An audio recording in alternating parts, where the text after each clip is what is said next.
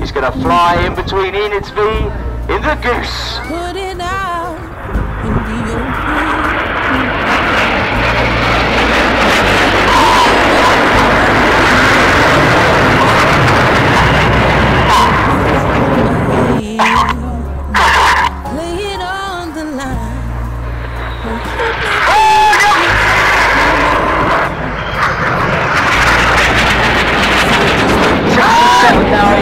Upside down close formation as Reds 8 and 9 roll around them in the corkscrew. you understand? Just take my hand.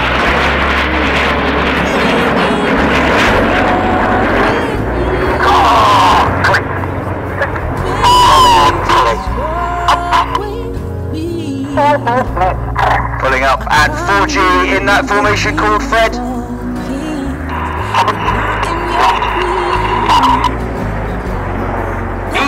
Right uh, and Chippo go left in the new manoeuvre for this year,